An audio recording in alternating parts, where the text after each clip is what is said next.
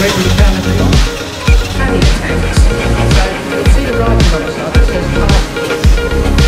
This uh, another Speedway member of a different manufacturer this time.